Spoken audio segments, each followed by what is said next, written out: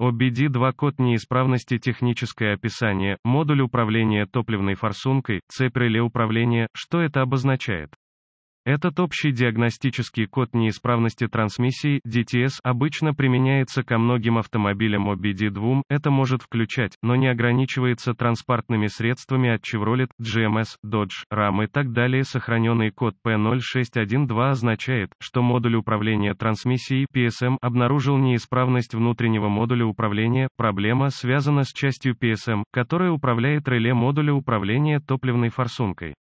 В некоторых случаях контроллер топливной форсунки может быть отделен от РСМ, чаще всего он интегрируется в PSM, это экономит пространство, время и деньги автопроизводителей. Аналогичным образом, реле модуля управления топливной форсункой может быть неотъемлемой частью РСМ или обычным реле, которое расположено вдали от РСМ. Обратитесь к надежному источнику информации о транспортном средстве, чтобы определить местоположение реле управления топливной форсункой для данного автомобиля.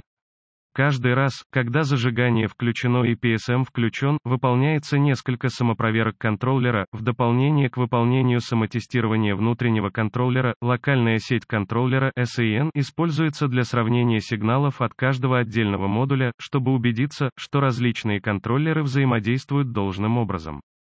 При контроле функции управления реле топливной форсунки, если PSM обнаружит проблему, будет сохранен код P0612 и может загореться индикатор неисправности MIL, в зависимости от предполагаемой серьезности неисправности, для освещения MIL может потребоваться несколько циклов отказа. Модуль управления топливным насосом, какова серьезность этого кода неисправности? Кодам модулей внутреннего контроля всегда следует относиться серьезно, сохраненный код P0612 может привести к различным проблемам с вождением, включая условия отсутствия старта, каковы некоторые из симптомов кода. Симптомы кода неисправности P0612 могут включать проблемы с управляемостью двигателя, снижение производительности двигателя, снижение эффективности использования топлива, другие сохраненные коды, каковы некоторые из распространенных причин кода. Причины для этого кода могут включать в себя неисправный ПКМ, ошибка программирования PSM, неисправное реле электропитания PSM, разомкнутая или замкнутая цепь или разъемы в жгуте SAN, неисправный источник питания PSM, недостаточное заземление модуля управления, каковы некоторые шаги по устранению неисправностей P0612. К сожалению, даже самый опытный и хорошо оснащенный профессиональный техник может найти диагностику кода P0612 довольно сложной задачей, существует также проблема перепрограммирования. Без необходимого перепрограммирующего оборудования невозможно будет заменить неисправный контроллер и завершить успешный ремонт при наличии кодов источника питания ESM, PSM их необходимо отремонтировать, прежде чем пытаться диагностировать P0612. Есть несколько предварительных тестов, которые могут быть выполнены до объявления какого-либо контроллера неисправным. Потребуется диагностический сканер, цифровой вольт, ометр, DVOM и источник надежной информации об автомобиле.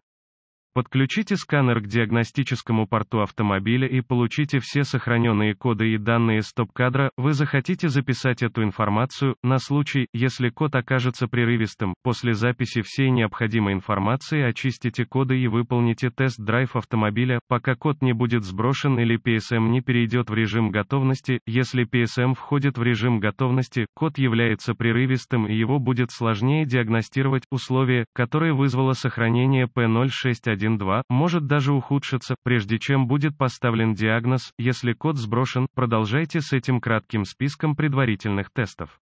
При попытке диагностировать P0612 информация может быть вашим лучшим инструментом. Найдите в своем источнике информации о транспортном средстве бюллетени технического обслуживания TSB, который соответствует сохраненному коду, автомобилю, год выпуска, марки, модели и двигателю, и выставленным симптомам. Если вы найдете правильный TSB, он может предоставить диагностическую информацию, которая поможет вам в значительной степени.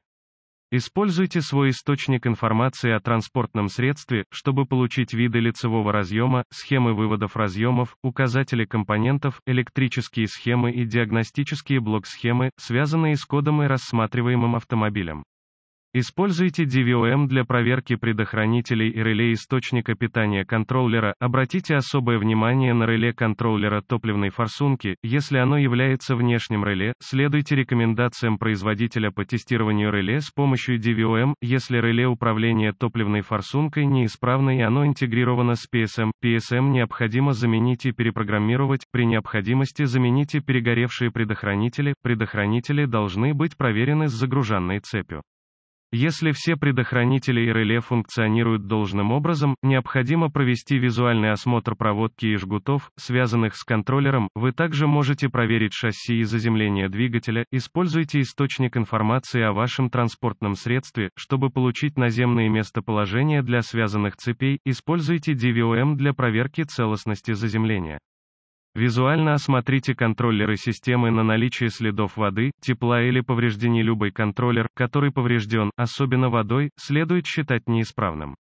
Если цепи питания и заземления контроллера не повреждены, подозревайте неисправный контроллер или ошибку программирования контроллера. Замена контроллера потребует перепрограммирования. В некоторых случаях вы можете приобрести перепрограммированные контроллеры через вторичный рынок. Другие транспортные средства, контроллеры потребуют перепрограммирования на борту, которое может быть сделано только через дилерский центр или другой квалифицированный источник.